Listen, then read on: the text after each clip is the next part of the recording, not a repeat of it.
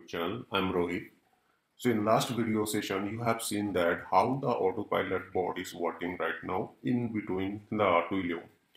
Now what we'll do in this video, we'll create the Twilio function and then whatever data is generating during this uh, process will send to that third party. So let's see how we can do. So before we start, if you like my video, um, if you like my content, please do like, share and subscribe my channel. Um, also, I will recommend that if you have not watched my past video uh, regarding that autopilot 1, I would mostly suggest that go and watch this video because this is very uh, interrelated with these two topics. So I would suggest go and see the first that video and then uh, see this video. Okay.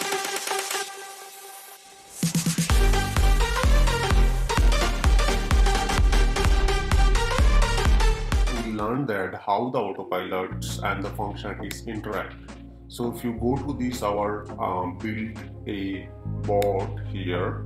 So first we will understand that how we can create a function, basic function, and then we will come to that HTTP function call. So this is the function we have to click here and then click the services. Click the create service and then here you need to provide the services. We'll put that service name equal to bot and click next. So our service is generated and this service name is the bot.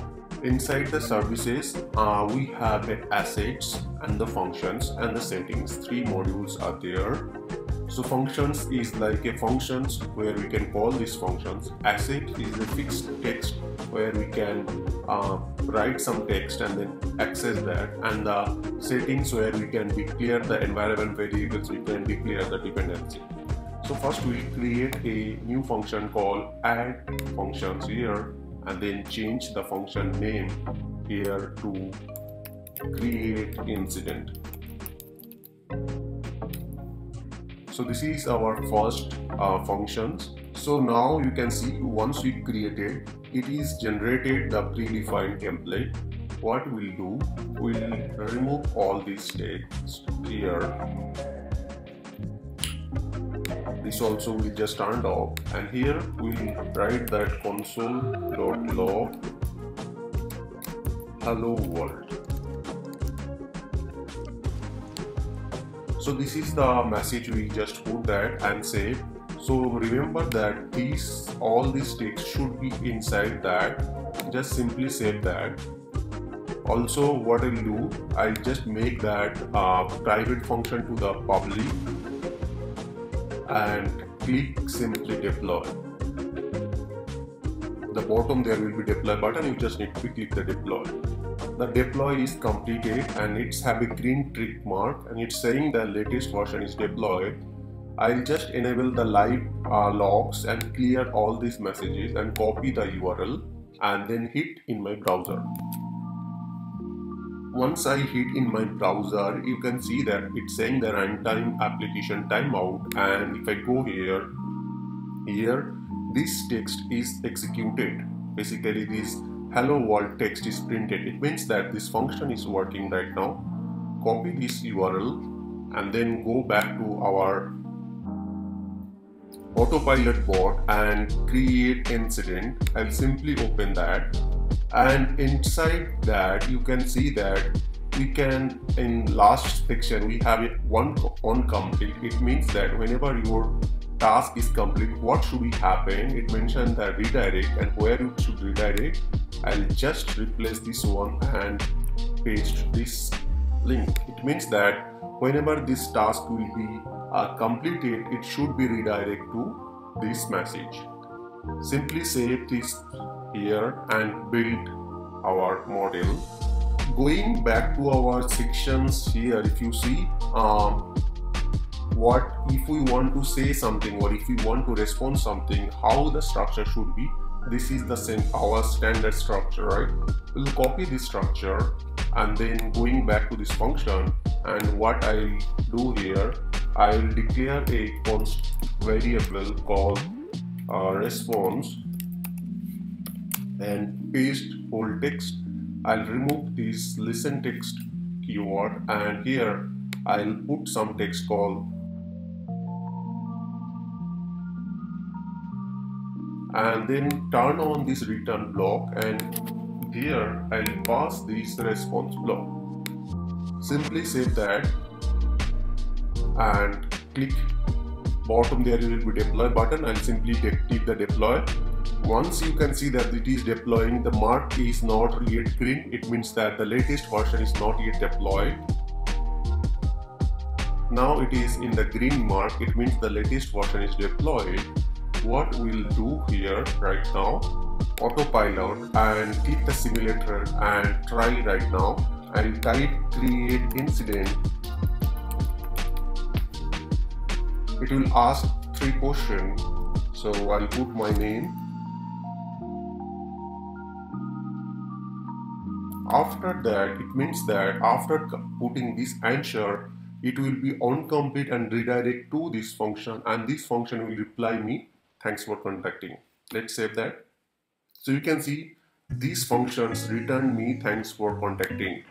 But the data whatever data we have received so far will not yet send to the third party.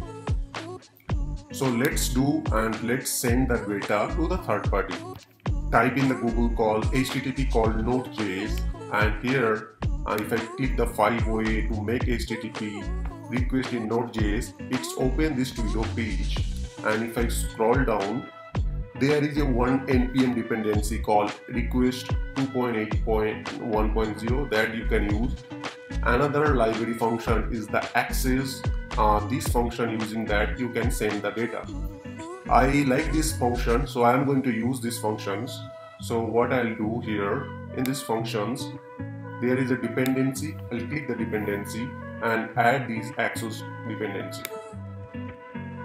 I'll copy this from uh, dependency name in a module and then I'll copy the version from here and paste that. So now my dependency is added right now. Going back to create incident, what we'll do, I'll write some code. So first I'll write, um, I'll import um, this dependency. For that, what I'll do, I'll type the const So uh, I, I put that constant axios the required, it means that these plugins or you can say that this app library function is imported here and the inside the dependency I have declared here. Now I'll go to that declare one more variable cons dot body. The body we are going to send that. Here I'll pass the event and then there is a mm, uh, function called memory. I'll pass that memory is nothing but where this chat is generating it have a memory or it is generating a memory inside the simulator. If you go back there is a memory function which is nothing but it's generate a json and that json we will pass to the third party or application. What we will do here we'll uh, pass that as a body and then i will declare one more uh, uh, variable called header and inside this header what I'll do I'll pass uh, two things. One is the content type. Content type equal to application slash JSON. And next what we will pass that authorization. And here we'll pass the basic key. Now here what we'll do what I'll do I'll go back to this method and then uh, copy this whole code here and paste to this function. Okay? And here I'll pass my uh, endpoint. And secondly I'll pass the body here. And thirdly I'll pass the headers one okay? And inside the response I will get the response. So what I'll do here I'll do that response dot data so here I just need to be replaced with this my third party endpoint and here I just need to be put the credential. Let me put those two digits so now you can see I have just put that basic uh, authentication and the endpoint. And if I um, retry that it should give me this um, console. So let's save that. Apart from that what I'll do whatever response I am getting from the third party I'll pass that response here. So I'll cut this message. So I'll cut this message here from here and then whatever response I am getting from this third party I will pass this message. Instead of hard coding this message I'll pass that message. So it means that what will be happens it will be hit to this server uh, with this body and then with this header whatever response we will get that will print into the console and then we will respond to that our message. So let's enable our live logs and then see that how it's worked. So you can see I have received a message that response is already declared because I it's the response it's a const I can declare the same value. What I'll do I'll just change this one to so this is the simulator uh, actually in that WhatsApp or in a bot how it will work the same way it will work here. So what I'll do I'll type that how so once I type hi, you can see that uh, it is asking me that hello, what can I help you today? And then I can create the incident and I can search the incident. I'll type that the create incident and then once I type the create incident, it will ask few questions. I'll put that what's my name, I'll put my name and then I'll put that email address and then uh, I'll give my issues that it is that what your issue. I'll say that laptop is not working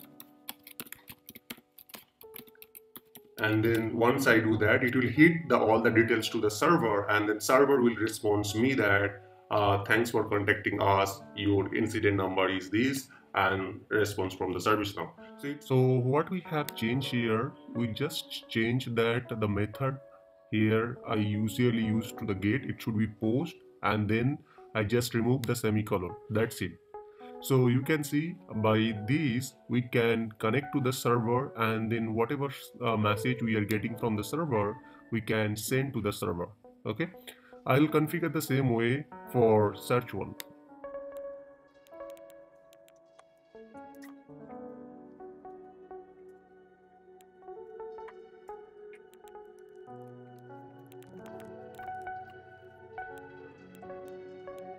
so I just created the uh, same way the search one. Just I'll make this public these functions copy the URL and then I'll go back to the task. And for the search I'll add the same way the search one.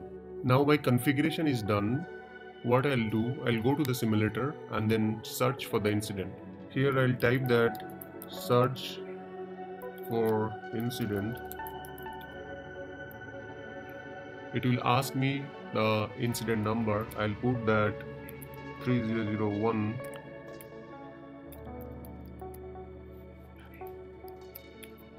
and server response me will be response me some messages that incident is in new state. This message is nothing but coming from the server. And also if you see is the memory. Uh, inside that this complete json will be delivered to the a third party and then third party will be process these details and sending back to with this incident.